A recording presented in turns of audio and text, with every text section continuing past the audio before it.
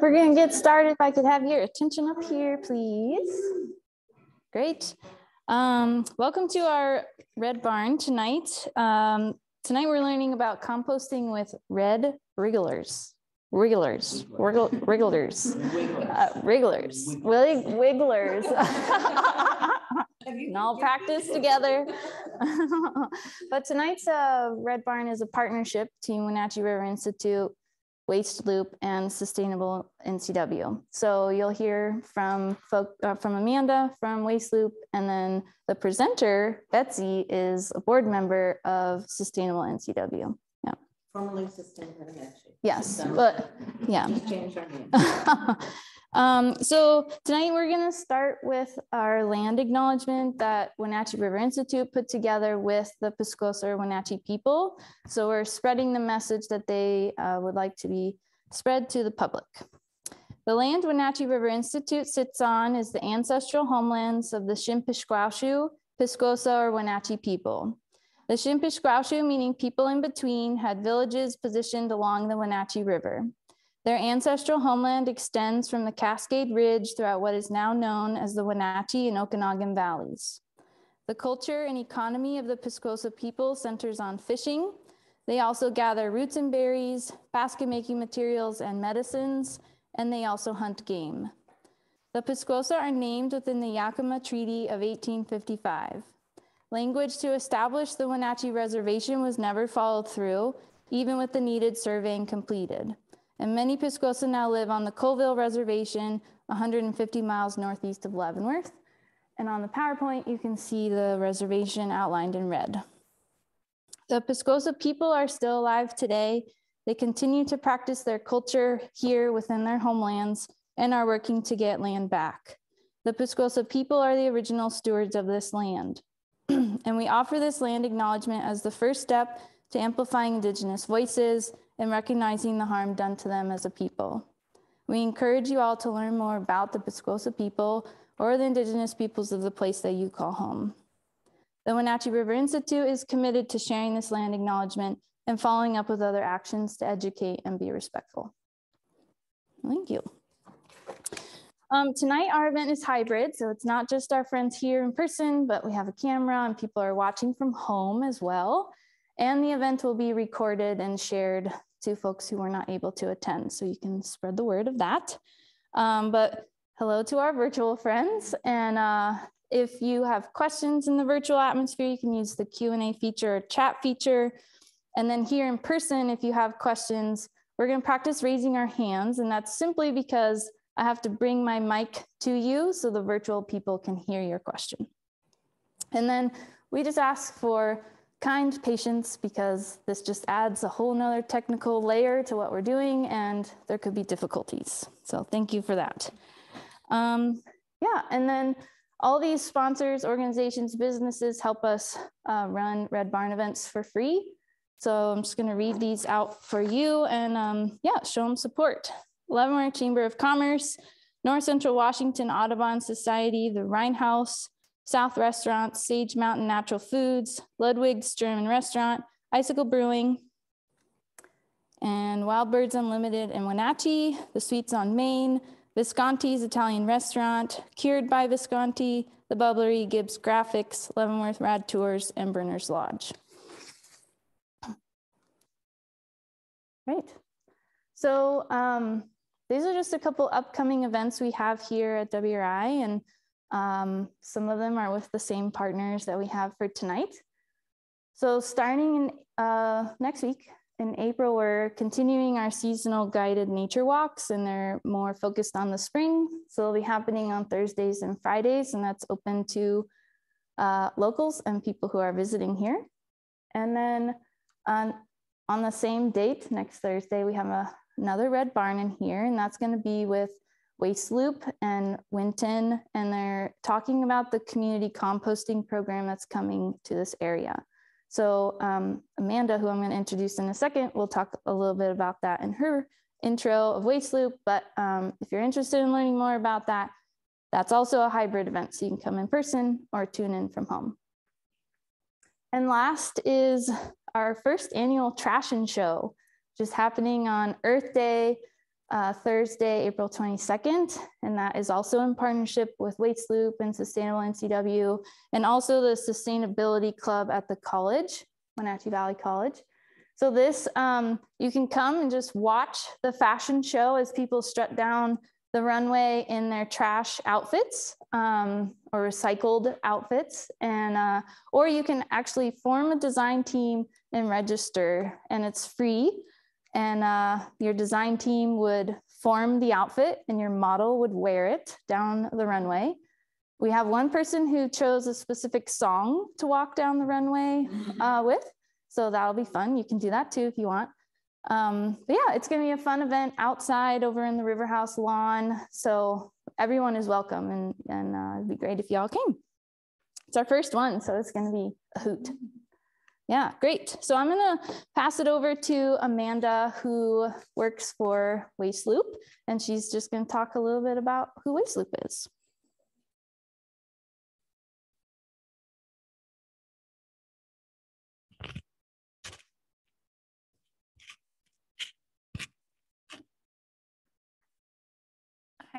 Well, hi everyone. My name is Amanda. I'm the Education and Outreach Coordinator at Waste Loop. We are a local nonprofit um, here in Leavenworth, and our mission is to inspire and transform our local waste streams into sustainable new resources um, in the greater Wenatchee Valley. So just to chat a little bit about um, some of our current initiatives, uh, you might have noticed that there's glass recycling just outside. And so when waste management kind of stopped accepting residential glass, uh, we stepped in to try and figure out a solution so that residents can continue to recycle glass. And so we accept glass at the Leavenworth Recycling Center on Wednesdays and Saturdays. And we haul it over to Seattle to Strategic Materials where it is recycled. Um, we also partner with Wenatchee River Institute to accept glass at these events. And then once the Leavenworth Farmers Market starts up in June, we'll be accepting glass on the second and fourth Thursdays of every month. So save your glass and bring it over so that we can recycle it. I've also been working with the Cascade School District on some sustainability initiatives. Uh, this photo here is the Middle School Sustainability Club, and we've been doing some waste audits where we've been looking at the cafeteria waste, which is pretty illuminating. Uh, and then we're been working with the district level administration to implement mixed recycling um, across the district, which is really exciting, as well as doing some curricular development with various classes and students. Uh, our newest initiative is community composting, as Rachel have talked about. And we recently hired Natalie here um, as our community compost coordinator. And so starting in June, we'll be partnering with the Winton facility up in Coles Corner and starting several pilot uh, programs within Leavenworth to start, and then hopefully we'll radiate out to the larger valley. But getting restaurants and the community on board with um, some drop off sites. And uh, next week on Thursday, uh, both folks from Winton, which is the industrial composter, will be here to chat about their process, facility, and plans, as well as um, Natalie will be talking about what Waste Loop's plans are for rolling out these programs. So everyone should come back on Thursday to learn more. And if you are interested in learning more or volunteering with our organization, you can check out our website or also email um, contact at wasteloop.org um, or chat with us after. Um, so up next, um, Jana from Sustainable NCW is going to come on up. Thank you. I'm just, I'm not going to talk long, so I'll just hold this. Hi, everybody. I'm Jana Fishback, and I'm the executive director with Sustainable NCW. As you might have heard Betsy mention, we just changed our name from Sustainable Wenatchee to Sustainable NCW to better reflect the communities we serve. So we serve all of Chelan and Douglas counties. So we didn't want people to think we were just Wenatchee or something. So if I say Sustainable Wenatchee, it's going to take me a little while. So forgive me. Um, but I just wanted to share a couple of things. That was one of the big ones that we have a new name. Another is that um, we have our Earth Day Fair coming up in Wenatchee. It's at Pybus on Saturday, the 23rd from 10 to 2. So we'd love to have you there. Um, and then the last thing is we've got, it's a, a little early to announce it, but we have something called the Waste Wizard that we're, we're launching. Technically, it launches at our Earth Day Fair, but you guys can have a sneak peek. Um, so go to our website at sustainablencw.org, and then under resources, you'll find the Waste Wizard. And it's been something in the works for a few months now where you can search anything um, that you're looking to reuse or recycle or get rid of, anything uh, you might want to donate. And there's all sorts of resources throughout Chelan and Douglas counties. So tricky things like glass or um, there's some composting tips in there. We try to really encourage reuse, but of course, there's a lot of recycling vendors throughout the two counties that we include. So that's a resource that we would love to have you um, check out. It's kind of a pilot program right now where we're just, it's brand new. So if you see anything that doesn't look quite right, definitely get, get in touch with us. There's the email address there, wastewizard at sustainablencw.org. So you can get a sneak peek there. Okay, now I'm going to invite Betsy up. I'm going to be her little sidekick up here because she got me into worm composting. Um, so I might, comedy act. yeah, we kind of do a tag team thing here, but I'm going to let her wear the mic. Okay. She's the main show here. Oh, and I forgot to say, I do have um, business cards that have the Waste Wizard QR code and website on the table there. If you'd like to take one. I'm technologically challenged, just bear with me. Okay, good. So I'm Betsy Dudash. Um, I am the board president of Sustainable Wenatchee. I am, let's see, I'm a Wenatchee naturalist. I write occasional blogs. I'm a landscape horticulturist and designer, self-employed. One of my clients is here, Cherie. Um, and I have been composting my entire life and composting with worms since about 2006, 2005, maybe. I actually had an 11 year run with my first um, set of worms. And then my life kind of went haywire and it took a couple years to get back on track. But um, so I have some stuff here. If while I'm talking, if you want to look at worms, if you haven't seen them, yeah, um, I know some of you have have looked at them. And this, I have some now dry humus from my compost bin. So you kind of see what's going on. And I made some worm tea this afternoon. Don't drink it.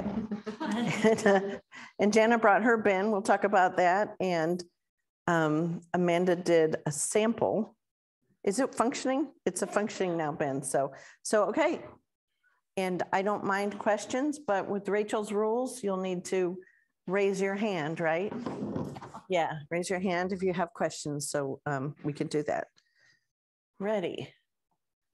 Okay, I need to stand up here. So, oh, this is, where am I gonna? I'm gonna use this. I can't really see that. Can I be over here? Okay, you can still see me? So why do you, why, why should we compost? And I'm gonna hand this one off to Jana because she's more qualified to answer it from the sustainability, um, climate change perspective. Sure. Well, especially before we had Winton and that exciting prospect, this is really the only way to compost your food um, in our in our area that's all year round. So some an option that you can do throughout the winter where things actually compost. Can you hear me okay? Um, so obviously you can have a tumbler outside or a pile somewhere. Um, that kind of has sometimes the problems with rodents or wildlife getting in there. And it really kind of just is a standstill in the middle of winter. You're really not able to compost much and you might get, you know, two feet of snow that kind of inhibit you from adding to that pile. So composting with worms is a really wonderful way to do it all year round. Um, why compost in general is of course just to keep uh, food waste out of the landfill, which creates a lot of methane. It's a, a very potent greenhouse gas. Um, and so that's kind of it in a nutshell. And not only that, but when you compost with worms, within approximately two months, depending on how much you eat and how good you are at taking care of your little buddies, you're going to get really great organic fertilizer. Um, and it's not hard to do. And we all eat, right? So depending on how much you cook and what you cook, you you know, it's not hard. So we're going to kind of go through the process and introduce you to worms and how they function. So let's see. So how much space do you need? So if you're looking at like Jana's system here, the, the newer bins are stacked so that the worms follow the food. So you have a top layer and you can add multiple layers. So this doesn't take up much space, right? So I think I say like six to nine square feet. Basically, for your worms, you want room for the bin, and then you want access and you want ventilation, and it should be nice and dark and quiet, but it doesn't take a whole lot of space, actually. My bin is substantially wider. It's, it's a little older, it's older version. I'm gonna get over here. Um, so it's about like this, and it's in my basement. And it's on cinder blocks. Um, so let's see. Red wigglers have a, a best range as far as their um, this, as far as um, the temperature they function at and don't die at. 50 to 80 degrees roughly. You get down into the freezing temperatures and they'll die and above 80. So like our summers, they don't want to be outside. They will die. Um, we'll talk about red wiggler specifically, but they're not native. They're not earthworms that burrow under. They actually live in the leaf, the leaf litter or the litter on top of the soil, and that's what they eat. So they're more susceptible to changes in temperature than say, um, we all know what night crawlers are that live several feet down below. Red wigglers aren't like that. Um, so the larger your bin, the more room you need. I'm just gonna look at this. This will be easier. Um, and I didn't answer the question. Oh, so yeah, some benefits of compost, worm compost specifically. They're going to improve the health of your soil. Um, compost supports microbial activity, which is a really kind of misunderstood and ignored part of growing things. It's uh, that it's an important component for successful plants planting um, suppresses plant disease, helps the soil to retain essential nutrients and water, and not just essential nutrients, but depending on what you're putting into your worm compost, you can have lots and lots of trace elements that may be harder to get to fertilize for because your regular fertilizers are nitrogen, um, NPK, nitrogen, phosphorus, and potassium. But um, your worm compost will have a, all sorts of other trace, trace elements. So it's like taking a multivitamin that has kind of everything in it. Um, reduce soil compaction. If you have clay soil and you're trying to grow a vegetable garden, you definitely want a lot of organic matter in there and worm compost can help.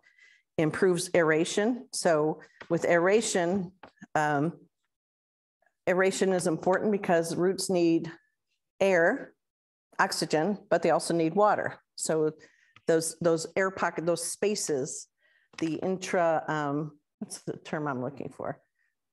Uh, interstitial spaces between the soil particles become really important for roots to grow.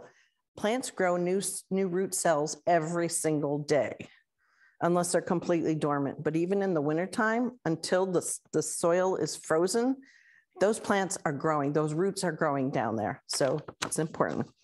Um, and obviously makes the soil more fertile. That's what they do. What? Okay, so the larger your, your bin, the more space you need. Um, what do I say? I made this fancy thing, but um. I can't see, I can look back this way. Um, but um, when I lived in an apartment, if I had stayed in the apartment, my worm bin would have been probably in the kitchen closet. Um, I have a basement, so my worm my worms live in the basement. If you have an attached garage, it's better than a detached garage because you need some element of temperature control. You don't want it to get super cold and you don't want it to get super hot. Okay. So even in the summer, probably a attached garage could get too hot. Yeah. Yeah. Yeah. So um, basements are ideal if you have one but a big closet space, a laundry room, as long as you, they're not near the washer and dryer, they don't like vibrations. They don't want to be disturbed. Um, They're, they're not as temperamental as they sound. okay. I'm just letting you know. Dark. they just want to chill and do their thing, right? Um, there may be restrictions if you happen to live in an apartment. Um, I don't know. I'm sure HOAs don't have restrictions for worm bins, but you know, you might want to find out. Any questions on housing? Okay. Uh, where are we now? So, so Janet kind of addressed part of this, but if you have outdoor compost, if you have a traditional compost bin or a barrel of some sort, why do you, why should you get a worm bin? And the Janet already gave the answer. You know, starting in late fall until the snow is all gone and it warms up in the spring, your compost bin outside does nothing. It literally does nothing. And if you're like me, which, you know, I'm kind of a normal person, don't laugh. It's like, I, am not going to say I'm a normal person. I have uh, limited energy and limited time. An outdoor bin requires, even if it's just a barrel that you have to roll, that requires time and energy. If it's a traditional compost bin, it requires you to regularly aerate it, turn it. That's physical labor that we're not always in the mood for. Um, the outdoor compost needs to be watered here because we live in such a dry climate. And so there's a lot of labor involved. The good news for that is that you can ignore your outdoor bin. As Rachel, we saw last summer, you can ignore it. And no matter what, eventually those materials will degrade. It's just a much slower process. So you just have to have more patience waiting for your humus, right? But with worms, we all eat, like I said, and depending on how much you feed them and how regu regularly you harvest your humus or worm castings, you have kind of a, an unlimited supply of fertilizer for plants. And it, within two months, like I said, you should have enough to make it worthwhile. I thought of another one. Yeah. And it's kind of why I started was that it's easier. You don't Yeah. have to balance your greens and browns Yeah. and know which is which category and that you have the right ratio. I got a really little tumbler and I guess with a tumbling system, it needs to have a certain amount of mass to really work well. And so I got like the smallest one possible, thinking I'll just start it out and it never really composted very well. And so with worms, you there are certain things you can't feed them, but you don't have to worry about this ratio of, you know, am I feeding them the right amount of Yeah. yeah, carbon versus, I don't even know, I'm not the scientist, clearly. And It's high, easier. so high that's why we nitrogen versus high carbon. So in an outdoor bin, you have to balance those. Yeah, worms are more forgiving. Yeah, they're very forgiving. So um, any questions on that? Rachel, you'll let us know, right? Okay. Um, So red wigglers, so when we're talking about red wigglers, we're not just talking about, oh, they're worms, right? No, it's a very specific species.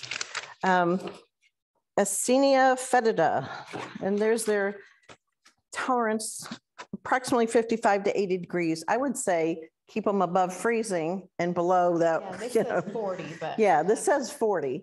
Um, I would try to avoid exposing them to those cold temperatures because if you if you looked at my worms, happy worms are reproductive worms. They're busy. They're just eating and they're reproducing and they're just like enjoying life to the fullest, right? That's just they're doing their thing. They love it. Um, they are very prolific breeders. That's one of the points that they are. I mean, when when my worms are happy, I know it. Um, as I said earlier, they live near the surface, which is where the food is. So they're going to eat your food on the surface of the worm bin. Um, that makes it easier to harvest the castings, which we call black gold, because look at it. I mean, look at it. I mean, that's that's beautiful. It's just beautiful, and you're not spending any money aside from whatever initial investment in the the system to get that, and it's a consistent source of really powerful organic fertilizer. Um, and I say they're not scaredy worms. Like you saw me, I can pick them up and they're not, you know, have you ever tried to hold on to a, a night crawler? it's kind of an unnerving experience because it's like they would cut off their heads if they had them to get away from you, right? They're just, wow, we don't want to be there. So red wigglers are special. And you have to, we think there's no local source, right? We're pretty sure there's no local source. Not local. Yeah, but there are sources and Apart From friends and family. friends and family. Yeah. Yeah, I've given worms to Yeah. a number of people. Amanda has us, I found three different vendors in Washington. Oh, oh. Yep. Okay, I found three different vendors in Washington and the handout that Betsy provided is on the Waste Loop website as a blog post and it includes links to those vendors. Yeah. Just try not to order them in the heat of summer or in the bitter cold of winter. Um, because, you know, but um, I always have worms and Jenna might have worms. And Amanda, so if, you know, if you get to the point where you're ready and you want to see if we have any, just send an email. Uh, odds are that I do, because I feed them a lot. Um, okay. So what's the next step? So now you know about, you know about worms, right? You're an expert, right? Red wigglers no problem, I can do this. So what you're gonna do is, you know, we have a couple samples here of different kinds of bins, but you need to figure out what kind of bin do you want? You wanna make your own? Because you could Google, you know, worm bin and you can find limitless variations that you can use with three gallon buckets or five gallon buckets or um, plastic totes or anything like that As long as they're not clear. as long as they're not clear. That's an excellent point because they like darkness. So you don't want light to get in. It's not like an ant farm where you can watch. Yeah, you don't, they're like, they, if you saw mine, they're like all under the, you know, Yeah, they're in there. Even like this lid off. They're like. No, they're like, what are you doing? Mom, don't do that. Turn the light off. Um, so, so think about that. And if you're gonna buy one, there is a guy coming to our Earth Day fair from, or wait, Oroville. Orville. And he deals in, he's a, he's a dealer. He's a dealer. Yeah, he's a dealer. Um, I got my bin 15 years ago from Gardener Supply, and they still sell com- worm compost bins. Um, what I would say is buy the best you can afford because this is something that you want to last for a very long time because you will use it, trust me, and it's kind of effortless. Um, so figure out what's going to work for you, the number of people, how much you cook, what kind of scraps you produce, and then I would size accordingly because you can always size up or get a second one if you find out that you're not quite, you know, up to par. So mentioning the, uh, is it Barefoot Mountain? That what I it's called? think Yeah. that's the name. Um, Oroville is not close, as some of you probably know. There's not, that I know of, a local place where you can buy something like this. You can order from like Lowe's or Home Depot and have it shipped to the store, which I think is a little more eco-friendly than right to your house. Um, but yeah, there's not, as far Right. as I know, a, a business that sells these kind locally. Any questions? You guys are so good. No questions, okay. Um, Oh, we have to get the, I left my worm bedding in my car. I was gonna show you what I use. So um, ease of access, ventilation, good drainage. So drainage is something that if you're using or repurposing buckets or totes, you're gonna have to provide some sort of drain hole.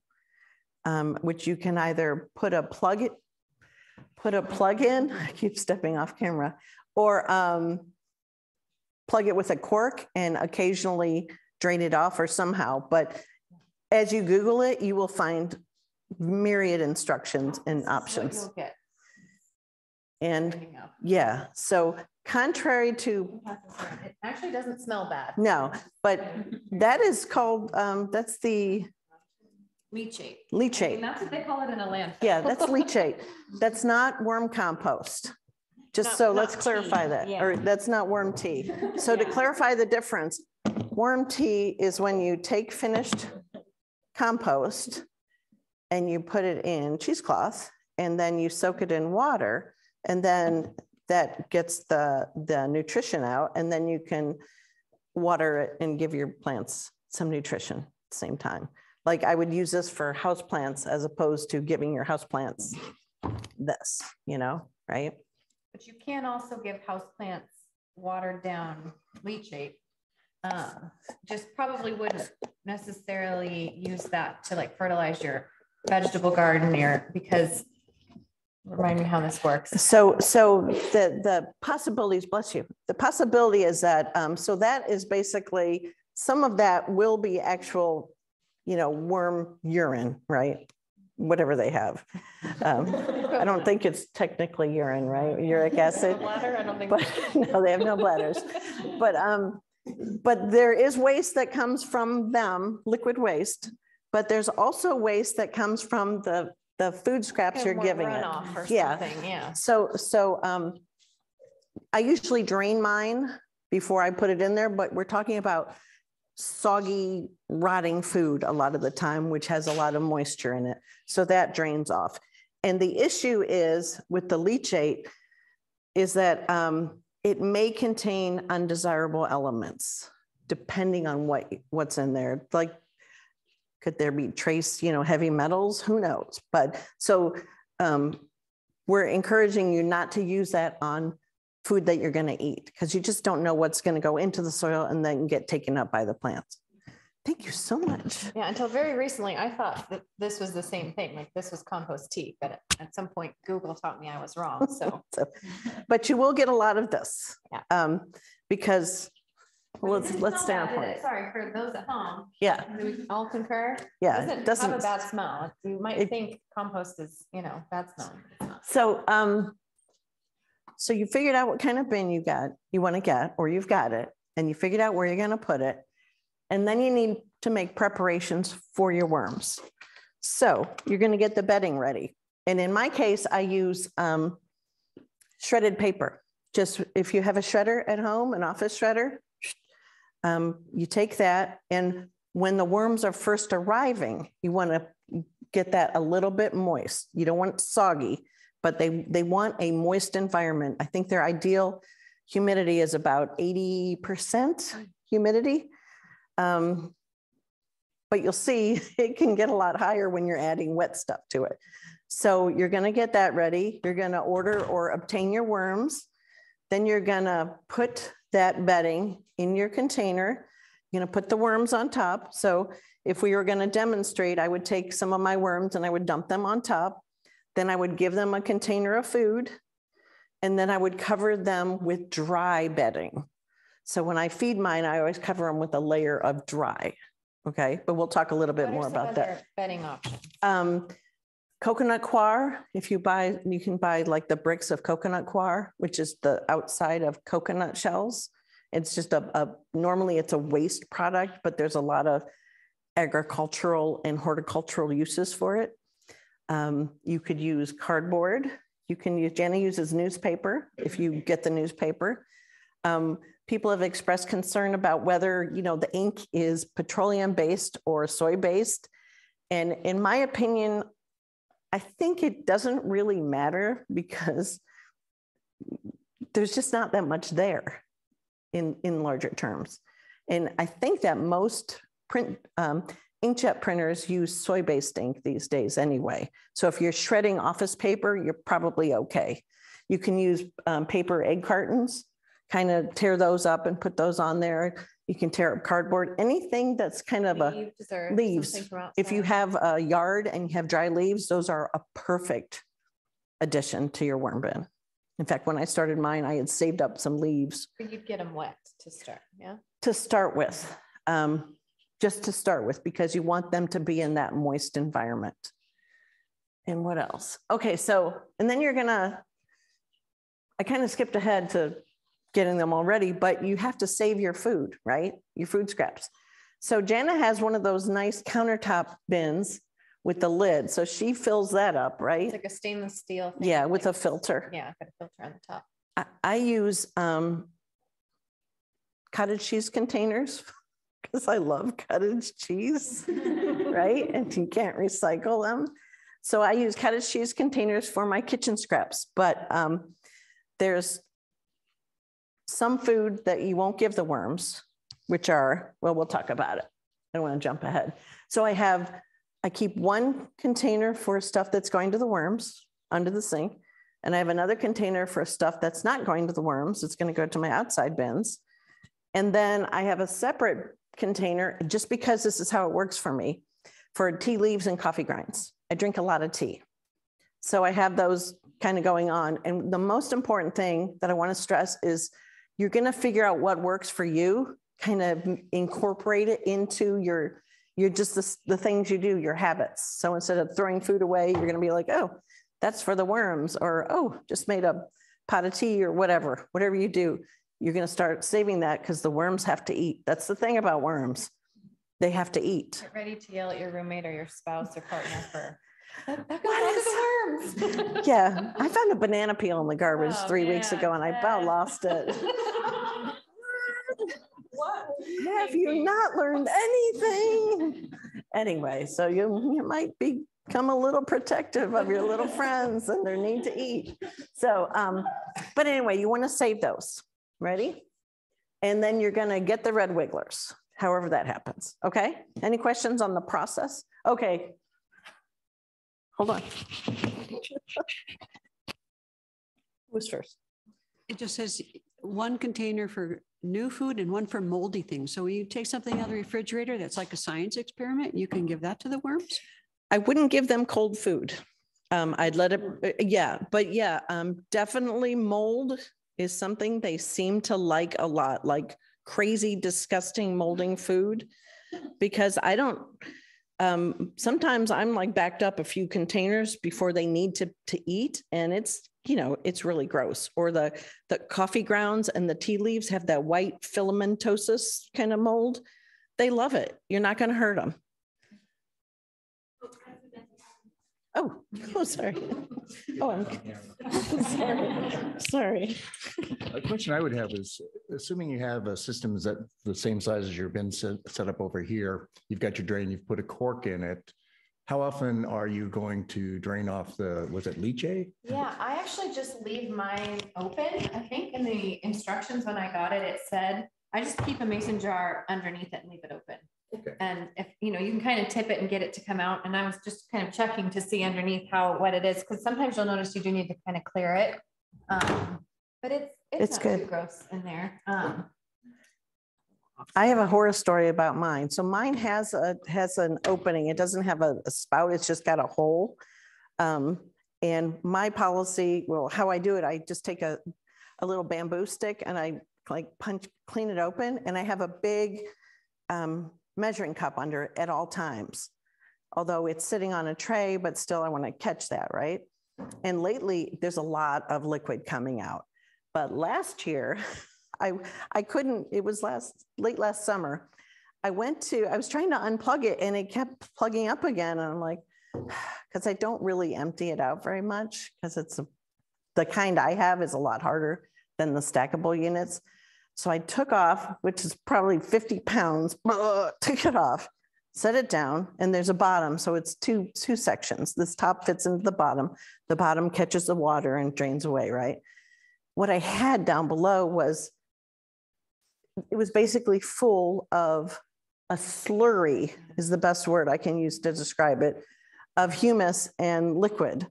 So there was no way I was going to get just separate the liquid out of it. So I ended up scooping it out into containers, taking it upstairs and outside and feeding all of my tomatoes and peppers. But it was a mess. And I was like, yeah, I probably need to empty the bin out more often. Um, you get busy. So it's an excellent question. So that it's important because your bin is more likely to get too wet than not wet enough because like I said, you're putting wet things into it. The, the food waste you're putting into is wet, which is why when I feed mine, I put a generous layer of um, shredded paper on top. So you But- can see if you, well, you guys. can Yeah. Afterwards, um, but there's, they call this, I think, the worm ladder or something, to make sure they don't get stuck in there, they can crawl out. I do have a worm down there. This probably could use the cleaning. But there is some liquid down there. It's just not high enough to go down the spout. So if you wanted to, you could kind of tip it out to, if you're ready to fertilize your house. For that system. like That, Yeah, mine isn't that advanced. Mine is, yeah. mine, yeah, open and then Yeah. it just drains as, as needed. That's an excellent question because that is where your system will fail is too much moisture. Jenna, Jenna and I have both experienced um, the little uh, Fruit fruit flies. Um, and that will happen if you're not putting enough paper or whatever in there to absorb that excess moisture. They'll be like, woo, yeah, top, yeah. Um, and you'll hang, uh, what I did was I, I hung fly strips all over the, pa- all over the basement until I captured them Also all. the source of a marital argument. I got these worms, honey, and then all of a sudden you have house or, you know, fruit flies everywhere. So, yeah, but it's a learning experience. Okay, so, We haven't talked about what to feed them yet. so we're going to talk about that next. Much time? Oh, good, we have time. So feeding them. So I'm going to stand over here. Can I stand over here and read? You're gonna, like I said, drain excess fluid off before you put it into the worm bin. I ha- happen to have a big laundry sink in the basement, so I drain it off and I move. I make space and I dump it and then I cover it and I add some bedding to it. So the things you want to feed them. They love eggshells. If you look at mine here, you'll see there's a lot of eggshells in there. So pretty much any food waste except citrus, onions, garlic, Anything too acidic. anything too acidic they don't like. Um, and the other big no-no from personal experience, don't give them tomatillo, tomato, or pepper seeds. You want to know why? It's because You're a gardener. if you're a gardener, which is, so unlike traditional compost, which when it's functioning well, it heats up to a certain temperature and kills the seeds, so seeds are no longer viable. Worms don't do that. They just like ignore them. And the seeds are there and they're definitely still viable. Um, perfect example, the first time I used my worm humus as seed starting um, material, because it's, it's high nutrition, right? Why not, right? Be great. I ended up with cell packs, because I was just reusing cell packs of 30 to 40 seedlings of tomato, pepper, tomatillo of unknown varieties all crammed together because they got daylight and, and they just went, they exploded. So when you're, you know, cutting up peppers, seeds go into your outside compost. Um, any tomato waste aside from the core and tomatillos, they need to go outside. I'm a huge tomatillo fan. and once you plant one tomatillo, you'll never have to plant them again. Um, but um, so that's just a tip. It's not that they're going to harm the worms or do anything, but they're going to um, be a distraction in your gardening efforts. Okay. They definitely love coffee grounds and tea leaves. Okay. What else? do- They love pretty much, ev- oh, So no processed food, dairy. Grease. and nothing hard. If you look in here, I have, um, we have an apricot tree and some apricot seeds. They're never gonna break them down. So don't give them avocado seeds or avocado husks. Rind. Rind, oh, rind. The other day we were like, Talked about this last time. what's the correct Oh, word for the outside of an avocado? Rind, I think is correct. They love bananas, they love potatoes, No, everything like that. Corn cob. Corn cob, it'll Yeah. just sit there. Yeah. Yeah. If you put it in your outside compost, it'll probably take a couple years, two to three years to eventually break down, but it will. Um, And then in my case, because I use plastic containers, I rinse them out in the laundry sink and then run them to the dishwasher and I have a stash under the sink. And it's just, it's just routine now. It's just part of the cycle. It works. So I don't, it probably says up there, but, um. No meat, dairy. Right, no meat, dairy, processed foods, yeah, grease. Yeah, None of that can stuff. go in the future Winton composting, which is cool, yeah. Yeah. And that's, If you chop it up or grind the food, it'll process it faster. Yes, yeah, you theoretically want it fairly small. I've put whole, you know, whole banana peels, whole, you probably don't want like a whole potato or something, but you don't have to like dice things up for your worms and prep it, you know. First, I kind of did that, but they'll get through it eventually. I actually have put whole potatoes, like Oh. whole rotting potatoes and, and just, and just, I just throw them in there and there's enough of them and there's enough space, they will do it. Yeah. Cause I'm, you know, I got other stuff to do than chop, you know, I'm just like, okay, yeah, you'll take it. I love them, but not that much. I'm not gonna cook for them. we had a question from the Zoom. Okay, folk. And uh, the question is, are mites ever a problem? not in our experience. It's- What's a mite? So mites, they're these little tiny insect things. I've things. definitely seen non-worm insects in mine, Okay, so- nothing that's ever become a problem. Right. Except I had fruit flies once and I had some other variety of fly once. I Um, think they maybe were at the same time. they are, they're the And other that was my fault because I failed to, as you'll see here, you, you need to keep it covered. She uses um, shredded paper. I just use a layer of like comics. I- Actually, I don't, Just turn it. Yeah. there. So you do need to, to have a layer of something on top, that otherwise you'll have other Yeah. pests. Um, But yeah, I've never had anything that's problematic. Yeah, I think, Mites are like, um, are good for healthy soil. don't make me say it. Sorry. She said mites are good for healthy soil. Well, healthy soil I'm has, Sure, there's things in there that, oh yeah, yeah, we don't, there's can't see. all sorts of bacteria Yeah. and stuff happening in there that we really don't want to know about. We, we can't see it. So how are you going to keep your wigglers happy? Um, It's pretty easy. You need to feed them regularly and regularly does not mean on a daily basis. In my case, I feed them probably weekly. Um, I go down to do laundry and I'll check on them and I'll give them a, a, something to eat. Like I said, in my case, I just, I have a little shovel down there. I move the bedding aside, I dump it, spread it, put the bedding back and add another layer of bedding. It's really easy. Um, they can go weeks without being fed if you feed them. I had foot surgery last February. Before my foot surgery, because I knew I wouldn't be able to go down the stairs for several weeks, I made sure they were well fed. But at some knows nothing about worms or plants or stuff like that. He's a pharmacist. I said, Will you please go feed the worms? So he said, I fed the worms. I'm like, okay. And then when I was able to go downstairs, I found a layer of food approximately that deep. He had fed them everything, but it was okay. Um, what you have to remember is that your worm bin is a closed ecosystem, um, basically. So if you feed them more, they will eat more and reproduce more. And if you cut back on the food, there will be fewer, you'll have some die off.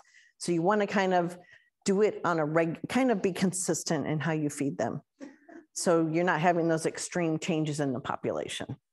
Mine are happy with, it's benign neglect, which is one thing that makes worms so wonderful because you just have to acknowledge their presence, you know, once a week or every 10 days or whatever. Two-week vacation Yeah. and not worry, And, and know that they're going to be okay. because we all go on a lot of two-week vacations. Yes, yes. Yeah, we don't. Other people here do, not us. Um, and like I said, making sure it's not too wet inside, that's going to be critical. So using that drain with something under it and adding plenty of bedding should take care of that problem. Um, and because mine isn't like this, if you're, if you're gonna get or have just a straightforward bin, how I deal with um, eventually emptying it out or partially emptying it out, I feed them only on one side for a couple weeks. So the theory is that they will migrate over there. It's not 100%. Uh, But after a couple weeks, I'll shift it over and I'll scoop out a bunch from one side. And as I do it, there are always worms because when you have a large enough population, they live everywhere in your bin. They just, they're there. So you throw them back in. And then sometimes you're not successful. Like um, I had this sitting in an old kitty litter container since last fall November. since last November. When we were, we did this same thing Saturday morning, there were still worms that were alive in there and they were just really skinny and not the healthy ones you saw, but they were like hanging on. So in the summer, when I dig it out, um, I take it out and I top dress my plants. And I keep it on the porch and I keep the lid open so they're not going to overheat. But I have a, a back porch, so it's shaded and it's it's not too bad. But there will be casualties. You should understand this. They might live through the summer in your garden. Right. They'll have a good little life. Yeah, but Yeah. there's no way to prevent casualties. And, and it's just, it's just the way it is, okay?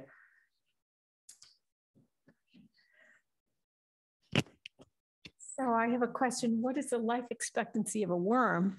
And presumably they're dying in there. Are they eating one another or how does that work? I have no idea.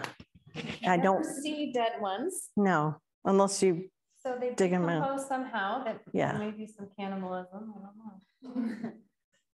no Yeah, I don't idea. know the life expectancy. It's probably not very long. Google it.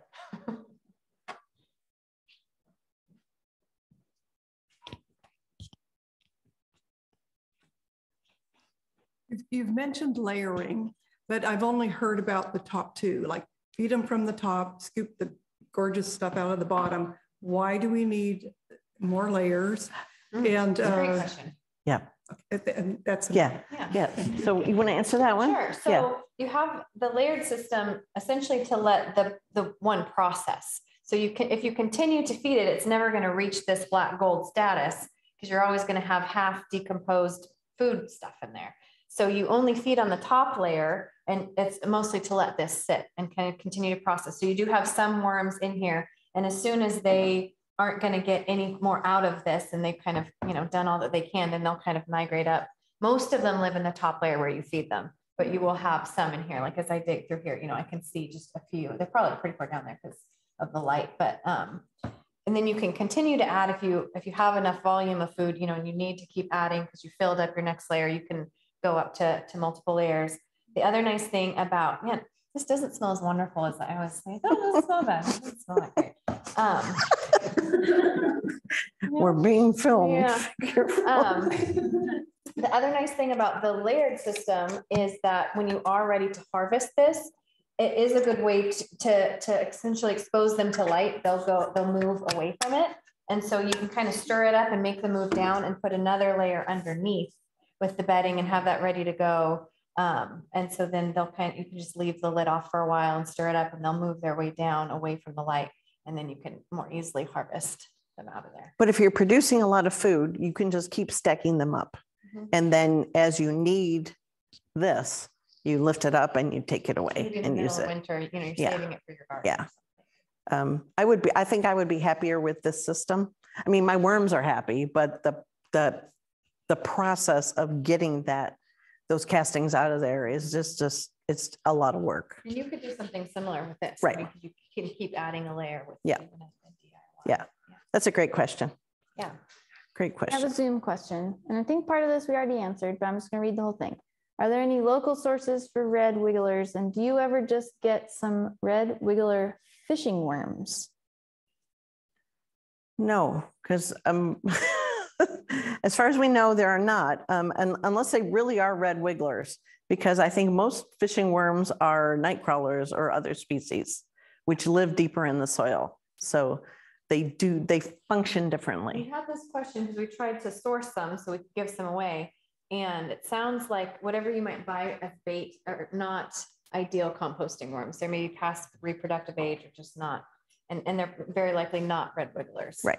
Because these are actually pretty small. You can come see them, you know, later on. They're, some of them get pretty long, but they're not the big fat earthworms you Right. see. No, they're skinny. Yeah. So how do we use our castings then? So like I said, you can use it in your seed starting mix, just, you know, make sure there's no seeds in there, right? But it's very, it's very high in nutrition. Um, and one thing, yeah, add it to the soil when you're transplanting. I like to top dress like throughout the season, like once a month or so. I'll top dress, which means, because I'm speaking horticulture, it means, so here's your plant, plant, take some of the castings and just put it around in the soil around it and kind of work it in a little. And as you water, as you water, the nutrients will just get taken down into the soil and any worms or other creatures that are in the soil will kind of take care of that organic matter for you and it'll go away. It'll just kind of get pulled down into that whole terrestrial ecosystem underneath. Um, side dressing, that's what I do. You can add it to the soil. And I did a lot of reading on this after my foot surgery because I spent a lot of time in bed. And I think the entire, if you're looking for like the optimal planting mix, like to, to grow the best you can grow, it's some crazy high percentage of worm compost to the other soil mix. Um, I don't want to give you a number because I don't remember it, but there is a, a professor at NC State who, her whole research area is worms and worm composting. And you can watch her YouTube videos and read about it, and she throws that number in there. I want to say that it's at least thirty percent compost in whatever planting mix you're using, and that'll be like for optimal growth. If you're like producing veggies or something and you want it to be great. I never do that. I just use it as a soil additive for fertilizer. Um, Here, so I brought the compost tea, so compost tea, as I showed you earlier. So that's, and then you could use this liquid for seedlings, because I have some seedlings that have, that I've started and they were in coir plugs. And then I put a mixture of um, coir and something else. So they're not going to get huge amounts of fertilizer from what they're in. But when I help them out with this, it'll be like a little, little boost of energy for them to grow. And for indoor plants, this would be what I would use for house plants for sure. And repeat as necessary during the growing season. I mean, you can't over fertilize them with worm compost. If you were using, let's say a synthetic lawn fertilizer, you can easily overdo it and destroy your soil and burn the plants and bad things happen. With something organic like this, there's no such thing as too much. So you don't have to worry about that ever. And there we go. I wanted to make sure we answered that Zoom question. So Yes. there aren't local places where you can buy. That we On- know of. On the Waste Loop website, and there's a, a brand new blog, and Mhm. that has all this information in three places you can buy them. um, within the state Washington State, yeah. So they'll mail them to you. Yeah. And now is the perfect time of year, because they Yeah. won't get too hot or cold. Or unless you know someone who has a bin and their worms are doing great and you can say, hey, Yeah. I've given worms probably to four people at least that I remember. Good, Three, yeah. Yeah, so we can do that. Any more questions? Um, given normal eating habits and composting habits, how much black gold do you produce in a month, in a year? I don't know. Um, A I lot. have a family of four with two little kids. Her, you'd think that that would mean that they eat less, but they are such picky eaters that we compost a lot of what they don't eat. And this top layer, I think I started um, February 1st is when I did. So it's maybe half full. You can come see it in a minute. Um, so, and then this one, I wish I need to like label the date so I can remember when I started this one. I think this one's probably been at least six months. So yeah, it depends on, you know, size of the people living and the Mhm. number of people living in your household. Um, I always have plenty in the growing season to give to whatever I want. It's a, for me, the limiting factor is disturbing the residents of my bin. I mean, I'm willing to take half of it. Are you talking about like the amount of worms or the amount of black gold? Yeah, Yeah, so that's, yeah, so it's dependent on um, how much you're feeding them, Yeah, really. So if you, I'm if you if cook you- a lot, I'm sure there's, you could find out like Yeah. a certain amount of, you know, fresh produce too, how long it takes and how. Like, would could you easily fill a five gallon bucket? oh, I imagine so. I would say uh, you could do that within two months, I would guess. When did you start yours? Uh, do you mean with black gold? Yes, like with what you're gonna put into your garden or. I definitely can. So when I go to empty mine, I will easily half fill a kitty litter container and still have half of the bin left. Within just a few months? you Yeah. think? Yeah. Yeah. Um, because I, Is it, can you overfeed the worms? I mean, no, so, so like I said, because it's a closed systems, you feed them too much, they will eat more, they will reproduce more. But if that food source drops, the population will drop I would say too. you could, if they can't keep up with it, it will mold and it will just kind of rot. Like the, the stinkiest part of this, I feel like I'm talking a lot about smell, but um, the, the, you know, can that I have that stays under my sink, that's the only part that really smells bad is that it just has rotten in there and it's when I feed them that it, you know, can smell bad. So I just totally lost my train of thought. Um, So you could, well, you possibly, I mean, you Oh, have to like it- go crazy. if you, if it just sat on there so that they couldn't process it fast enough, I think you, It could just be a smell. If it's- mostly. An occasional thing, like when, when Teddy overfed my worms, Yeah, was that? it was no big deal. I mean, it just took them longer Yeah. to eat that and eventually they did. Mm-hmm. But if we made a habit of that, probably not a good thing. But yeah, like, you know, they lived on that for three weeks easily. Yeah. Any more questions?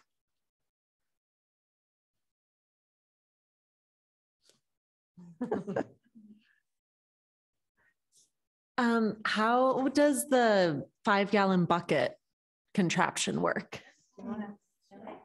Yeah, So this here, is another, let's put hold on. Little buggy, you got something there. So I got these buckets from Mission House. Yeah, hold on. It's in my pocket.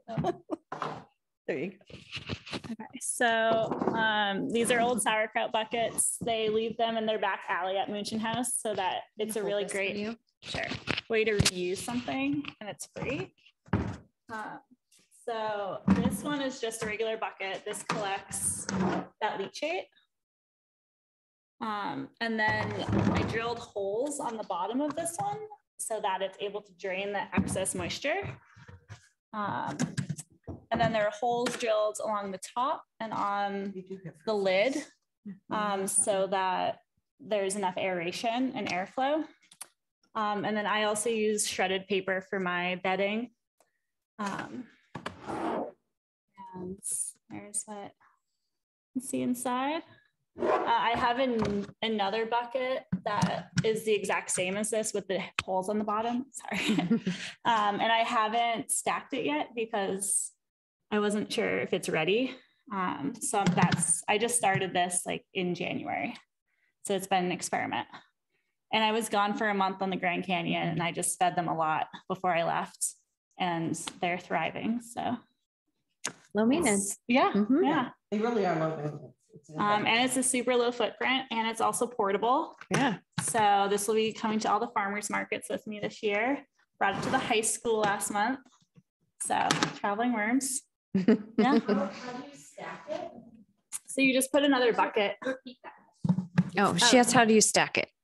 Um, so you just put another bucket that has holes drilled on the bottom so that the worms can migrate up um, through those holes, similar to this. So when you add one to this, it will kind of just rest on the top there. Mhm. Yeah. And then you put, use the same lid on the top of the next bucket. Yeah. You can get those buckets, um, any of the grocery stores that have a bakery because they get frosting. So Oh, yeah. Lots of restaurants and grocery stores are great Mhm. supply. Breweries. Yeah. So what size holes did you drill in the bottom? Are they like quarter inch? I inch? think they're three eighths of an inch. Okay. Sure, it's not. gonna have to be Specific, but, but generally, okay, Yeah. cool. Yeah, when- And then how many? You'd want them to be big enough that the worms could get through when you start to add layers so they can about this migrate. size, like This amount. Um, and there's um, so a blog post that I, with a video that I use to build this is linked to the Waste Loop blog post as well. Um, and then when you, when they do migrate to the upper bucket, could you just use the black gold in the lower bucket or is there a lot of sifting of worms out? Uh, so I had, I haven't tried it yet. Um, but I'll let you know. Come check in throughout the summer. There will almost certainly be some worms in there because they, they like to, they, they like to explore. They're really like, they're curious.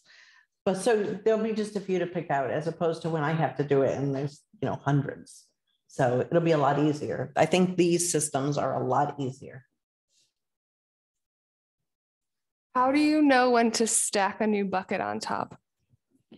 For me, it's just when it starts to get full, essentially. Um, and and if you're just ready to let that process, and you know, you kind of want to, it might be that you want to use it for something, and so you want to just hurry up that process and not keep adding to it. For me, it's just that it, I can tell it's kind of getting toward the top, and yeah, ready for a new one. And there's no harm in adding. Sure, I could let it only get half full, and uh, you know, they come with four of them or something like that, or you could do, you know, buckets to the ceiling. It's just whatever. Yeah. Just be hard to reach. Yeah. Yeah, it really is, like Dana said, when you need it, it's there. It's just a matter of getting it and using it. And if you don't need it, you let it sit. Or what I do, I tend to scoop it out and keep it somewhere else. um, before it gets too full. And My bin is really full right now. It's probably time in a couple of weeks, but then I'll have plenty for the growing season.